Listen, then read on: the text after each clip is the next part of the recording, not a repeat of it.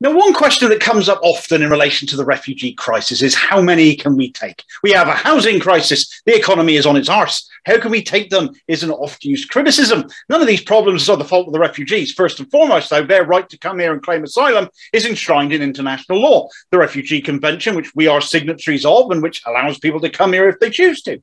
They don't need to stop in the first safe country they come to. We left the EU. That rule is no longer the case. If a refugee wanted to travel to another EU country, the Dublin Convention means they must instead make a claim for asylum where they are. But if they want to come here, they'll be allowed to.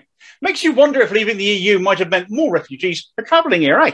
Their reasons for choosing us, whatever they are, are their own, but it is worth pointing out that the UK has offered 100,000 places to Ukrainians in response to the Russian invasion of their country. Though bear in mind, it's mostly kind hearted people opening up their own homes to be able to do so. In 2020, according to the Red Cross, the UK took in roughly a third of that figure, some 37,000 refugees. That was also a third of the number of refugees taken in by the likes of France, Germany, and Spain in that year.